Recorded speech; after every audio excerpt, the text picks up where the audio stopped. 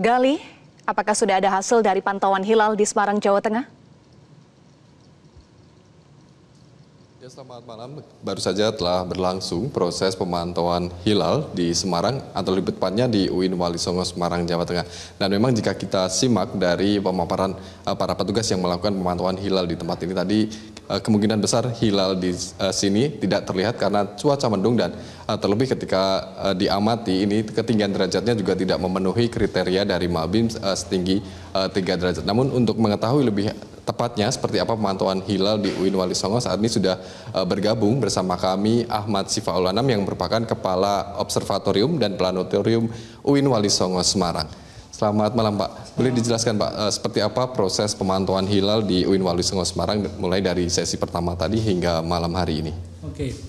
Baik, terima kasih. Uh, jadi prosesi Ru'yatul Hilal atau pengamatan hilal di uh, Observatorium dan Planotorium UIN Wali Songo Semarang kami lakukan secara integrasi antara dua hal yang kita lakukan. Yang pertama kita simulasi, simulasi hilal di planetarium. Jadi sebelum melakukan ru'yatul hilal pemantauan hilal dengan teropong, kita terlebih dahulu penjelasan secara astronomis seperti apa sih posisi hilal, di mana munculnya hilal, seperti apa ketebalan hilal yang kita tunjukkan melalui simulasi melalui planetarium dan ini betul-betul menarik yang tidak ada di e, tempat lain. Nah, setelah cukup hampir setengah jam kita jelaskan situasinya, lalu kemudian kita uh, ajak para uh, para pantusias yang melakukan ru'yatul hilal termasuk dari tetamu itu kita untuk melakukan ru'yatul hilal menggunakan dua teropong yang pada sore hari ini tadi kita sudah lakukan bersama-sama. Hingga sampai pada gilirannya pada huruf dan ternyata memang hingga pada momentum terakhir pengamatan hilal tidak satupun uh, di antara kami yang berhasil melihat hilal karena memang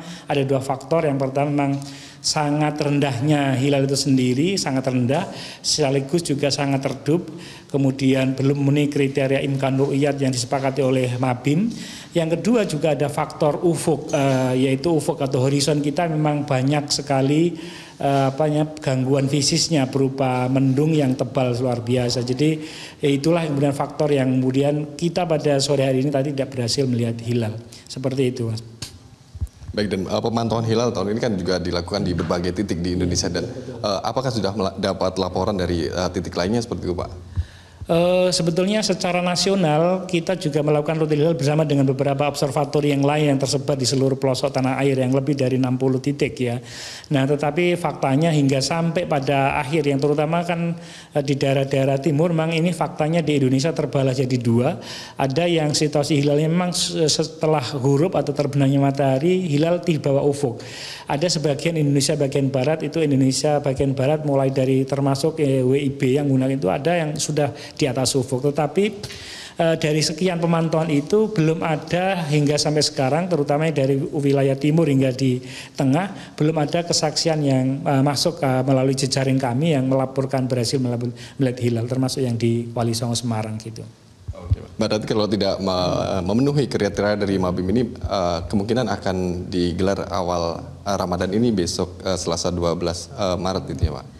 Secara konsekuensi dari konsekuensi dari apa eh, standar eh, kriteria imtarul adalah kalau memang ini ternyata tidak ada satupun yang melihat hilal, maka sesungguhnya maka menurut uh, kriteria ini maka tentu saja kita harus menggenapkan Syakban menjadi 30 yang artinya kita akan memulai puasa pada lusa hari.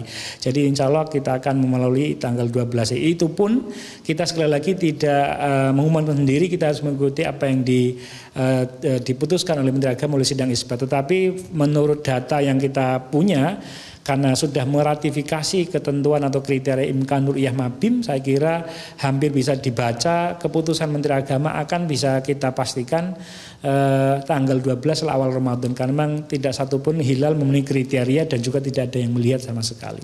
Seperti itu. Baik Pak, terima kasih atas waktunya. Dan itu tadi pemirsa wawancara kami bersama uh, Ahmad Sifaul Anam yang merupakan Kepala Planetarium dan Observatorium UIN Wali Songo. Dan memang dari hasil pantauan hilal di Semarang pada uh, petang saat ini memang hilal tidak terlihat karena uh, ketinggian derajatnya tidak memenuhi kriteria dari Mabim di mana uh, ketinggian hilalnya ini hanya mencapai 0,6 uh, derajat dengan elokasi 2 derajat ya tadi Pak. Dan untuk sementara demikian yang dapat kami laporkan dari Semarang Jawa Tengah kembali ke studio. Baik, jadi hilal juga tidak terlihat di Semarang, Jawa Tengah. Terima kasih Galisa Putra dan sebelumnya juga ada Rifki Nafis. Terima kasih teman-teman untuk informasinya. Jelajahi cara baru mendapatkan informasi. Download Metro TV Extend sekarang.